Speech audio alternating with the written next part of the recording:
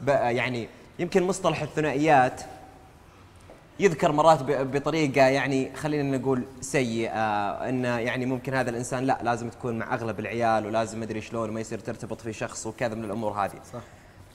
حنا مع الثنائية المحمودة اللي فعلا. نواف بن فرزان مع العيال كلهم على خوته وعلى طيبه وعلي شمراني.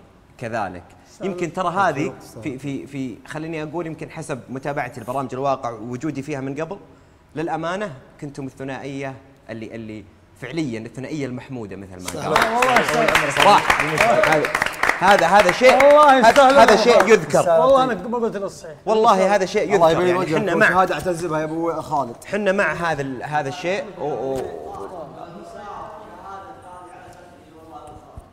طول عمرك. وشخص مثلك يقول الكلمة هذه هذه والله اعتبرها وسام على صدرك إحنا معكم دائما وابدا. يعني ممكن أحيانا الأشياء هذه إن أثرت على تفاعلك داخل البرنامج وعلى وجودك بنقول لا والله هذه ما صارت ثنائية محموده هذه صارت ثنائية الدورة الخطأ. ويمكن في أي لحظة من اللحظات واحد منهم يودع لقل الأشياء ولا الخصومات ولا الأشياء الأخرى.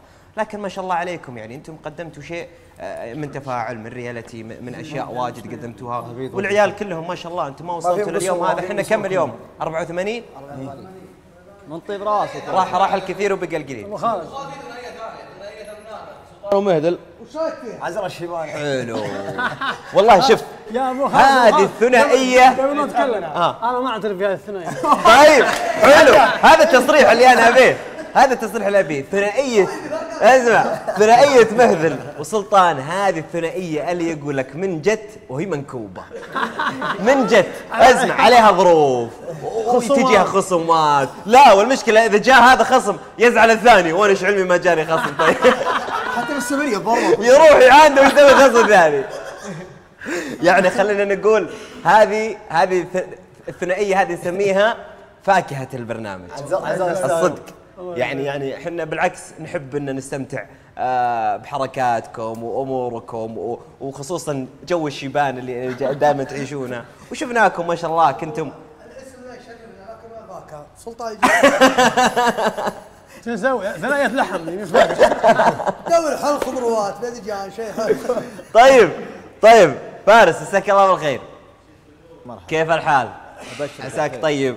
طيب جاك الحمد لله على السلامة. الله يسلمك ويطول جملتنا ووقفت الوقفة الطيبة اللي اللي تمثل فارس وتمثل كل جمهوره ومحبينه وتمثل أخويانا بعد الله يطول آه عمرك. في في عمان.